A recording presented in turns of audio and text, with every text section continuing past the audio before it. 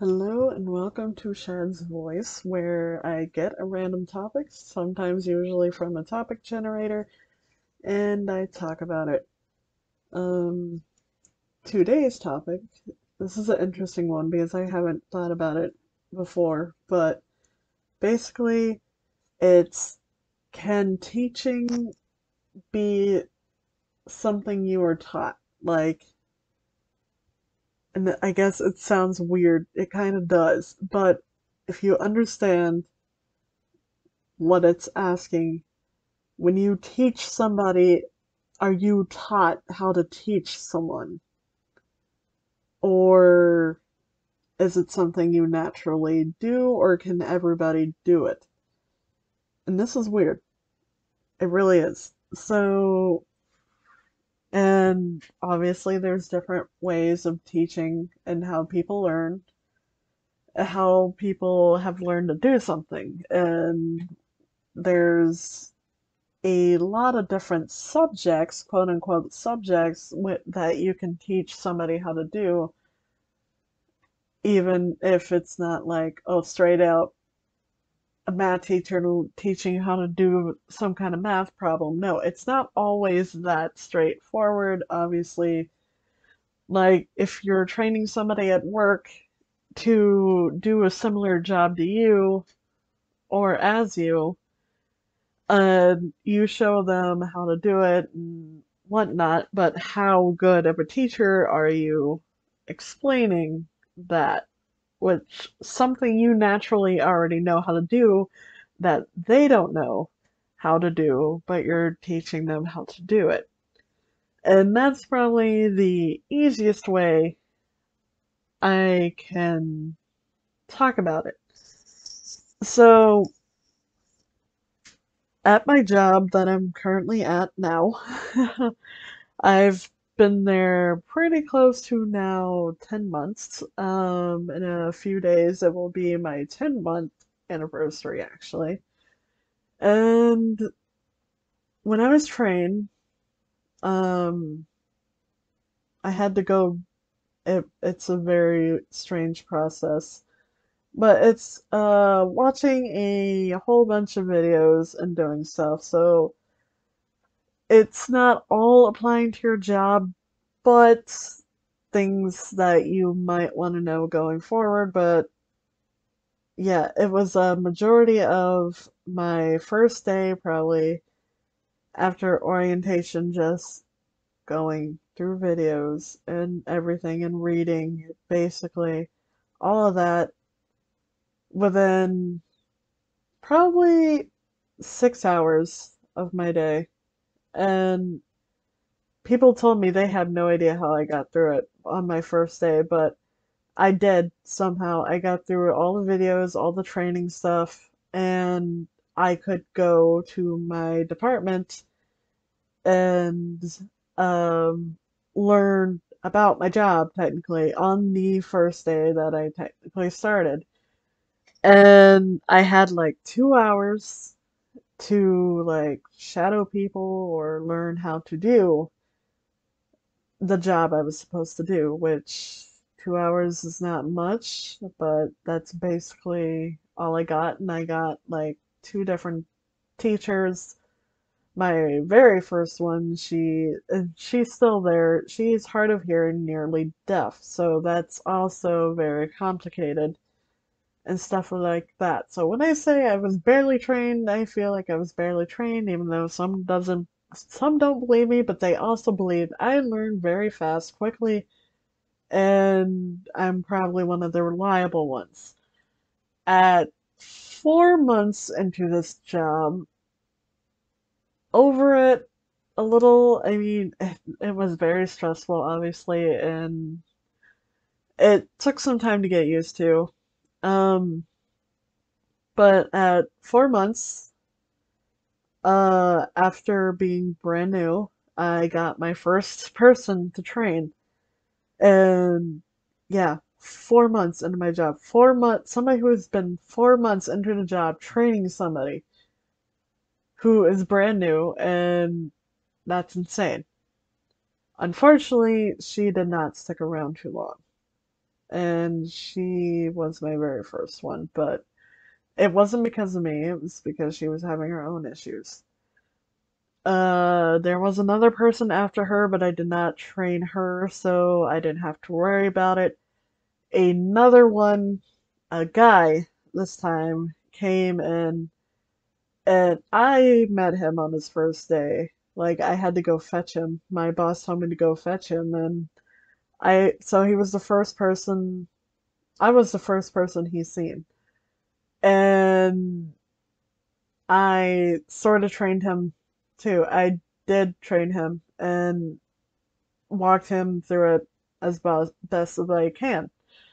So before this job and everything, I was always told before this job, but my first job before this one, I was told I was a pretty good teacher. I was a pretty good trainer, and I always explained things thoroughly and naturally, and I guess. And basically, it told I'm a good teacher, stuff like that.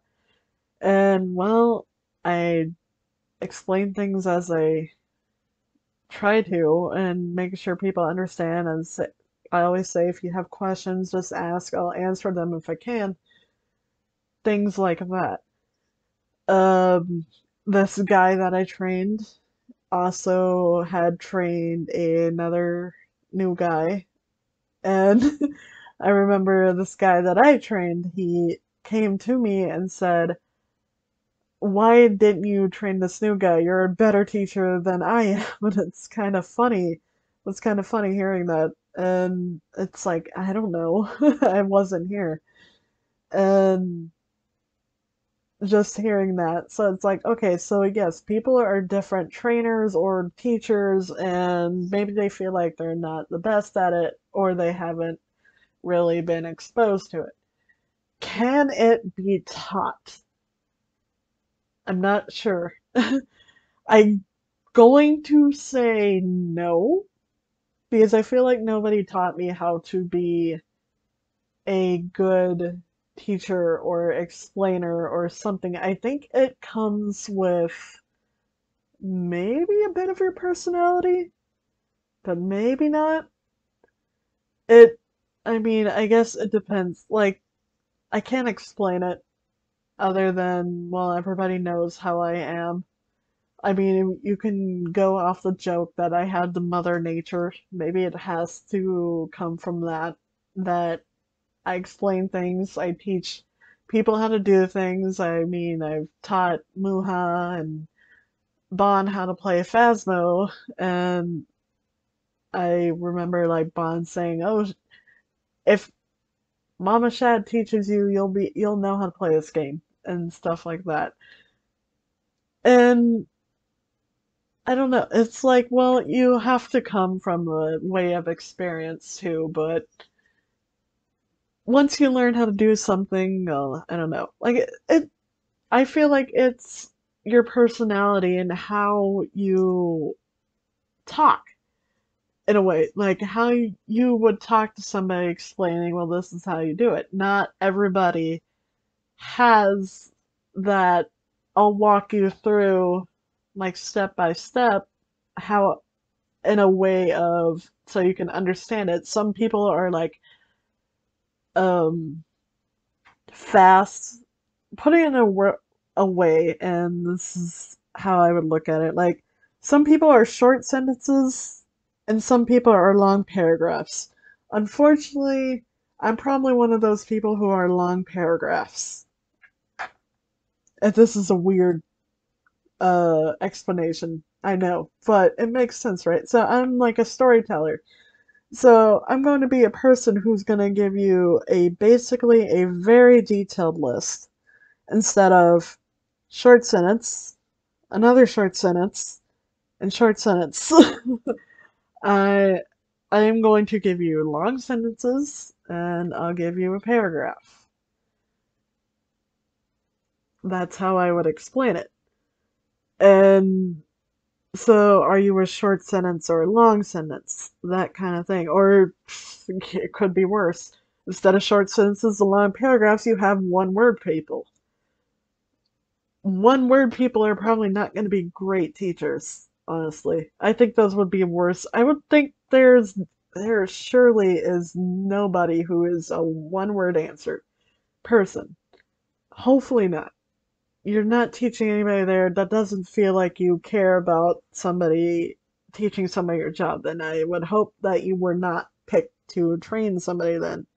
I would hope you're at least a long, a short sentence or a long paragraph. because the one word isn't going to help anybody, right? And you feel like you're really not learning. Which I can say at least the people I learned from were not one uh, word teachers, thankfully. I that's actually a weird concept because I never thought about it before. It's just what came to mind. And I guess as a writer, when you can see things, and the easiest thing to put in front of you are words and reading. Not everybody reads, but it's a concept that makes sense in my head. One word, short sentence, or long paragraph. And people are what they are, I guess. And some people hate having a lot to read. And that's how it is. But talking, well, if you stay on topic when topping, talking, topping, uh, I mean, it's not like you're going off page into a different story completely from the one you're telling. So when you're teaching somebody, if you're staying on topic and you help them, it's like this is how you do this and whatnot. It's not completely like, oh, you talk too much, you're boring. I would hope. I hope the person you're trying to teach is actually paying attention and whatnot. I guess there's a balance between you should have between that short sentence and the long paragraph, probably to successfully teach somebody, but making sure, like, let them know hey, you can ask questions. I'm willing to answer. I'm not going to sit here and talk your ear off. Engage with me so I can help you sort of thing. And I think that's the best way to teach someone to be an effective teacher, even if you feel like you can't do probably exactly what I'm doing now. Um, I guess in a way I'm teaching you how to be a better teacher, but can you learn from me doing this? Maybe, maybe not. But I feel like you talk how you talk. It's not really taught a you know what I mean. It it's very complicated, but I like this conversation um, topic because it gets your brain thinking. It's like how do we learn how to teach somebody something else that we already know how to do? It's kind of like what's an example? some what is something you're taught to do or you think you're taught to do but you're really not taught how to do you just know how to do it naturally but it's not that but it's something that it's because somebody everybody does it different it's it's like we're all taught how to talk but we all don't speak the same language we don't all speak the same uh dialect in a way. We don't all use the same words. Um, it depends on your level of, well, what you were, the words you were taught, if you're a reader or writer, things like that. We pick up most of the things that we naturally do, whether we realize it or not, from other things that we are technically involved in. So, teaching somebody how we teach somebody come I would feel like comes from that way of things that how we pick up th things or information for ourselves rather than somebody telling us how to do it that way. That makes sense to me. I hope it makes sense to you. And so we're all going to be teachers in a different way than another person is. So hopefully still the end goal remains the same that hopefully the person that you are teaching how to do something learns how to do that thing. And if not well it's fine. Not everything is for everyone. But that's what I would hope uh, you accomplish that. It because it makes you feel good. But it's like, yeah, it feels great because I taught this person how to do it, and they're good at it now too. That's what you want. But you never know because it still falls on that person on